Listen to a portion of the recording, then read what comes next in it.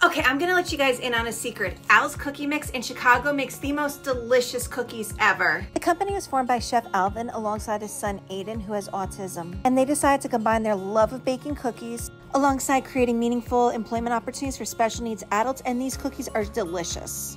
So his first cookie is the lemon blueberry and the cookies are so moist and so soft and they're huge. And oh my gosh, was this one so delicious. It tastes so much like a blueberry muffin. The next cookie was the oatmeal raisin, and the best way to describe this one was that it tasted like grandma's cooking. Like the ingredients are so good and it just has such a homey taste to it. The next one was the triple chocolate chip, and I'll admit I'm not normally a big chocolate chip fan. These tasted like they came right out of the oven and were so delicious. And this last one was their white chocolate cranberry, which is definitely the sweetest of all the four that I had, and also was just so moist and so perfectly cooked and so delicious.